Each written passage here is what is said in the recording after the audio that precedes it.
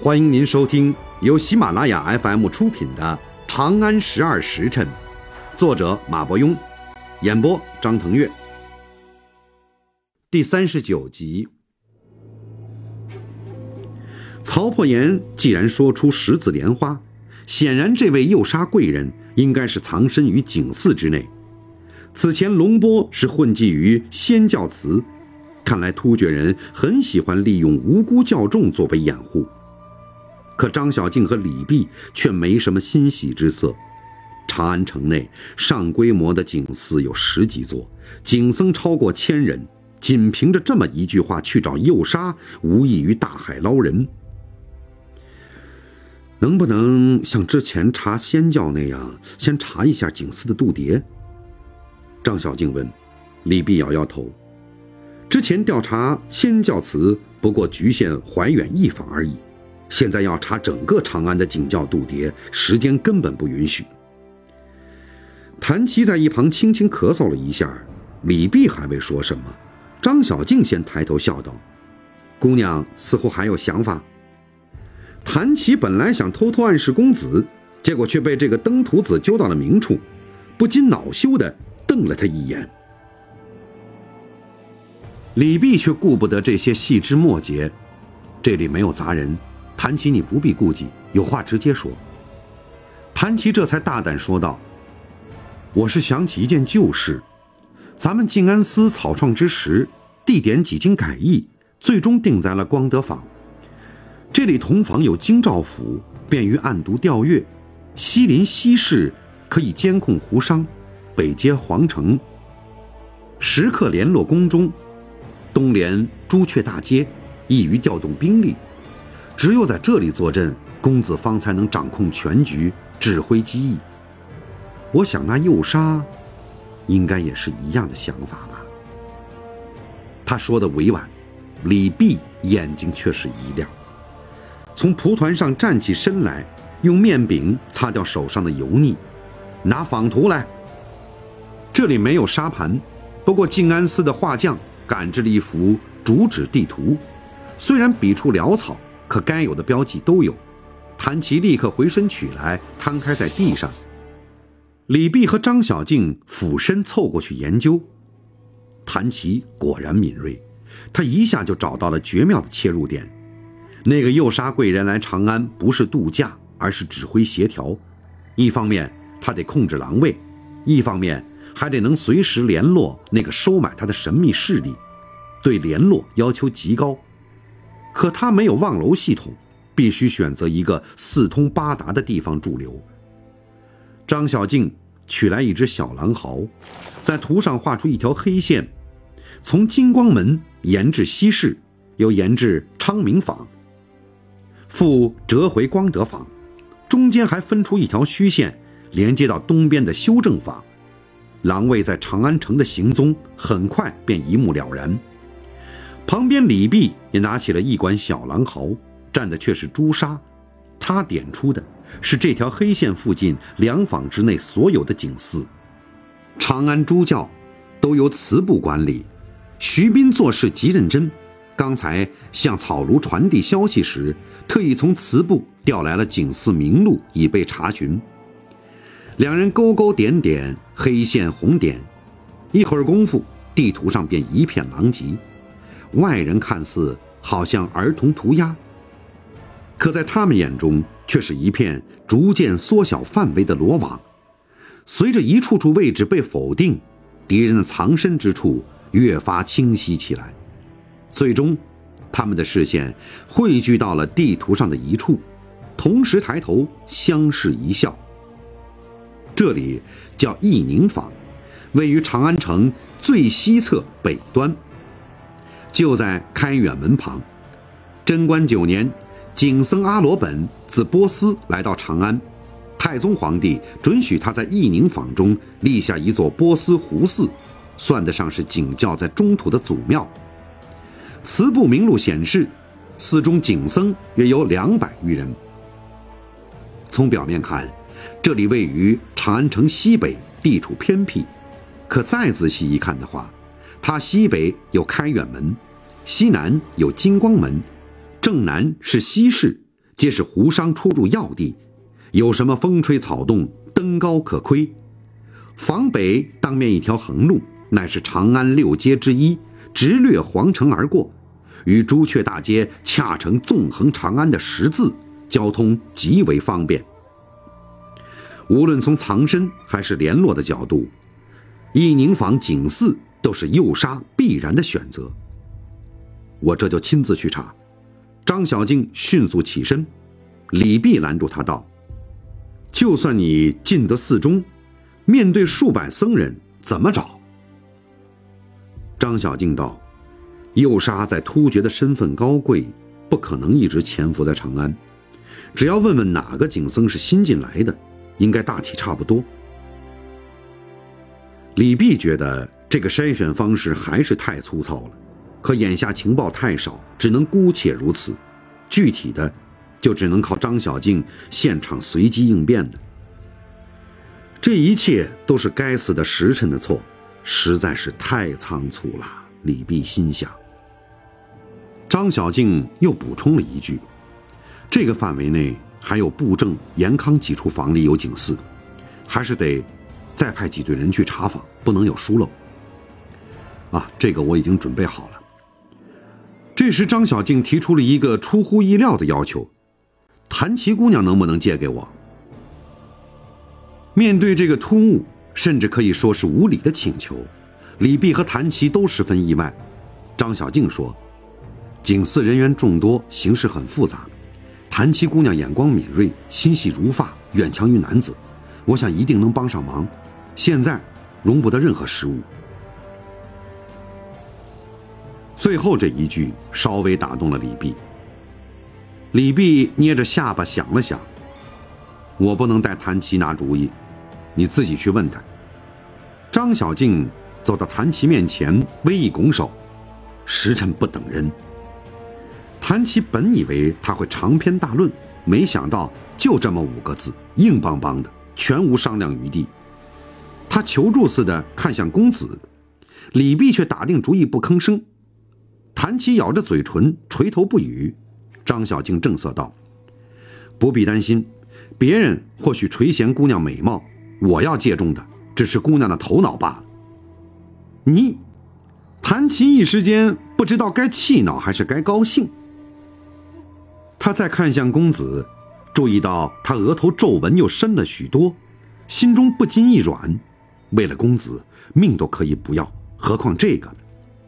他抬起头，勇敢地迎着登徒子的眼光：“我去，可有一样先说好，我自己会判断局势，你无权命令。”张小静把右手高举着伸过来：“干嘛？”击掌为誓。谭琪勉为其难地跟他拍了一下手，感觉这男人的手掌可真够粗的，一层厚茧让他的掌心微微有触痛。他忽然想到。在右校尉的门前，似乎就是这只手按在了自己的肩膀上。时辰确实极其紧迫，容不得谭琪琢磨他的小心思。两人略作准备，便匆匆离开草庐。正当张小静迈出门槛时，李泌忽然开口道：“张都尉，此番你不必再有顾虑，尽管放手施为，本官绝不疑你。”张小静停住脚步，在门槛前回过头，他背对外头微弱的灯光，脸部一片黑暗，可那只独眼却闪着异样的光芒。我从不疑李思成，不过静安司里的敌人则另当别论。说完之后，他大踏步离开草庐。李泌突然叹息了一下，谭琪狐疑地看了公子一眼，总觉得。他的叹息里有些说不清道不明的东西。张小静和谭琪很快离开，李泌一个人待在草庐中也没意义，便直接返回静安寺大殿。在慈悲寺的围墙旁边，早早架好了一具木梯。为了怕长官摔着，徐斌还贴心地用绳索把梯子顶部捆住。翻墙毕竟不雅。考虑到李泌的面子，在对面只有徐斌一人提着灯笼迎接。一下梯子，徐斌正要转身带路，李泌却忽然把他叫住了：“稍等，我有几句话想与你交代。”徐斌不明白为何不去静安寺正殿内说，他连忙停下脚步，一脸疑惑。李泌再次环顾四周，确认没人旁听，才开口道：“你觉不觉得哪儿不对？”徐斌有点迷糊，突厥狼卫的事儿不是已经讨论的很充分了吗？李思成还有什么疑点？再说，就算有疑点，你也该跟张小静说呀，为何专挑在墙根跟我讲？李泌见他懵懵懂懂，也不解释，自顾道：“你是否还记得五初之时，张小静和姚汝能吩咐西府殿和远来商战查案？”记得，呃，记得。徐斌记忆力没得说，在那次行动里，远来客栈的火盆把马厩四草引燃，结果引发混乱，姚汝能慌忙放烟，张小静只得离开西府店前往救援，然后觉得不对劲，这才中途折返，正撞见狼卫杀人离开。李泌冷笑道：“那商战做惯了马匹生意，怎么会犯把火盆搁饲料旁边这种错误？”张小静才进西府店查探，远来客栈就出了问题。若非这么一搅和，只怕张小静早拿下那个突厥狼卫了。徐斌不太明白李泌纠结于这个细节做什么。李泌又道：“张小静身出抵达昌明坊，身正便被崔器擒拿，前后不过半个时辰，李相。”又如何在这么短的时间内掌握动向，说服崔器呢？您的意思是，迟钝如徐斌也咂摸出味道来了，可他不敢说出口。李泌立在墙下，双目寒光一闪。张小静倒是早看出来了，这静安司里居然出了内奸呢！一团麻纸在军炉里扭曲蜷卷，火舌从纸背后透出来，很快就把它变成一堆灰烬。右沙拍了拍手，如释重负地站起身来。这是最后一份他与王庭之间的密钥文书，从此以后，谁也没办法把他与突厥联系在一起，至少没人能证明这一点。接下来。他环顾四周，从柜上拿起一只自己曾经最珍爱的鎏金酒樽。这酒樽是可汗赐予他的，樽柄弯曲，外壁上有一匹飞驰的骏马和一头盘羊，具有浓郁的草原风格。幼沙惋惜地啧了一声，把酒樽丢在地上，用脚使劲踩扁，直到看不出原来的模样。屋子里还找出来一副羊皮鞋囊、几盒马油膏子、两条虎头银链和一顶蜜汁防风灯罩，这些都或多或少带着突厥风格，有可能会泄露诱杀的身份。他们或被销毁，或被远远丢弃。这些物品并不能说明什么。大唐颇为崇尚胡风，此类器具比比皆是。不过，幼沙觉得，在这个时候怎么小心都不为过。忙碌了许久，幼沙的额头也微微沁出汗水。他想从腰带上摘下一条汗巾擦擦，却无意中碰到腰带上缠着的一团人的毛发。幼沙皱皱眉头，想起来这是从曹破岩头上割下的顶发，不屑地冷哼一声，用力扯下。也丢进军炉，那头发很快化为灰烬。哼，这群傻瓜！幼沙直起腰来看向窗外，忍不住冷笑道：“这些愚昧的狼卫，还以为自己是几十年前那个能跟大唐不分轩制的突厥，真是糊涂蛋。